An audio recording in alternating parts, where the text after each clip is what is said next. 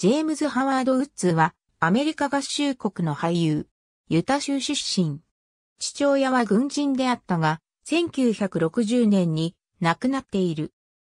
自身も軍人の道を目指し、空軍士官学校へ入学する予定だったが、入学前に事故に遭い断念、サットで満点の800点を獲得し、奨学金の全額給付を受けて、マサチューセッツ工科大学でコンピュータサイエンス及び政治学を学ぶが、在学中から舞台に立っており、後に中退。オフブロードウェイで舞台役者としてデビューした。1972年に映画デビュ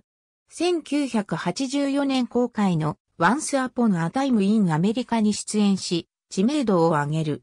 その後、1986年公開のサルバドル、遥かなる日々で戦場ジャーナリストを演じ、アカデミー主演男優賞候補に、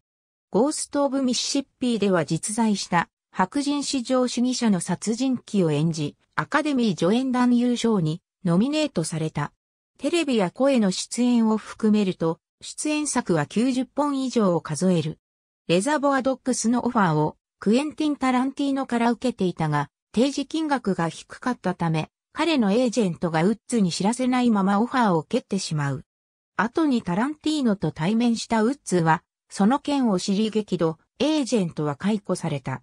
彼がオファーを受けていたのは、ティム・ロスが演じたミスター・オレンジだった。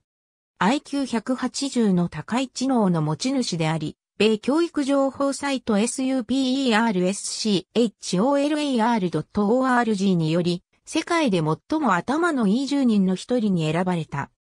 1988年に映画ザ・ブースと引き裂かれた愛で共演したショーン・ヤングからストーカー被害に遭ったとしてヤングを訴えている。